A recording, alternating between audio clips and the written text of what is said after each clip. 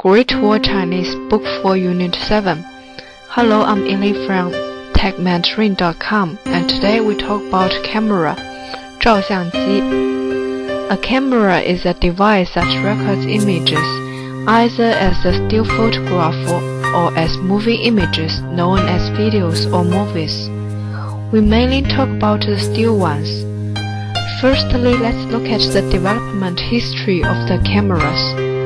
The forerunner to the camera was the camera obscura.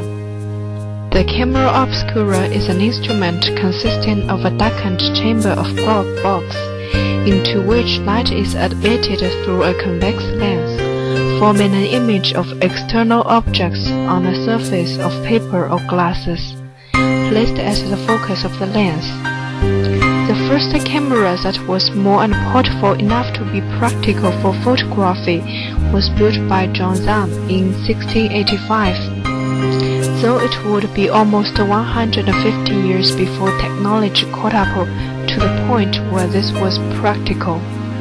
Early photographic cameras were essentially similar to Zahn's model, so usually with the addition of sliding boxes for focusing.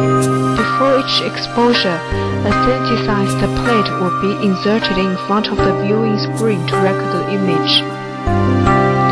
The first permanent photography was made in 1826 by Joseph Nicephore Niepce using the sliding wooden box camera made by Charles and Vincent Chevalier in Paris.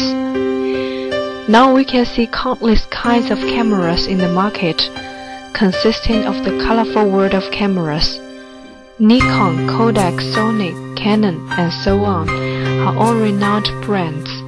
Even the mobile phones even have a camera. Only one of them is a pleasure. Pictures always tell much more than the words. I will show you the early pictures of China, the photos of Empress Dowager Cixi when the photography was firstly introduced to China in 1844, Chinese including Cixi at that time thought photography can take the soul of humans, and photos for women were especially immoral. Until decades years later, when she discovered that photos appeared much more real than the paintings, Cixi began to accept taking photos, thus leaving numerous photos of herself. Now it's time to review the new words. Camera, 照相机. I'll meet you in the next class.